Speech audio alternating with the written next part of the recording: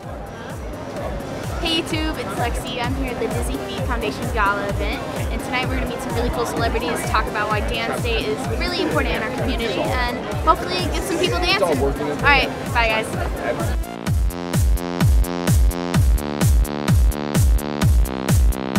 Hello YouTube, I'm here with Mr. Adam Shankman. So you have this big production at the Hollywood Bowl here. You have you have most of Young Hollywood in it. What's that like choreographing all that? Well, so far, last week it was pretty crazy.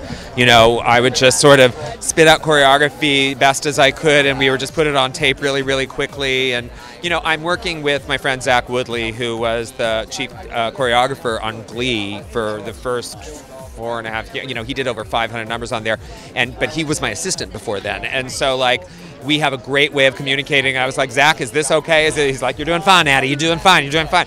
So, you know, it's it's all it's all good. You know, I'm just doing what I need to do to get the show. I said yes, and now I'm fulfilling my obligation. So what's it like coming here every year and seeing this event happen for the past four years? I think I need to take some time and stop and reflect on the achievement of it because all I think about is like, okay, how much more support can we get this year? How many more programs can we open up? How many more scholarships can we give out?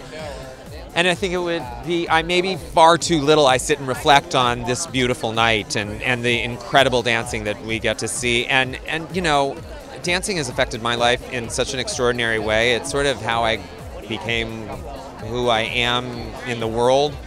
And I just have a lot of gratitude and I want to give back, you know? I think it's a part of everyone's life, even if they don't want to admit it. I think that's true. And I think more than ever before, that's true. Thank you so much for talking with me.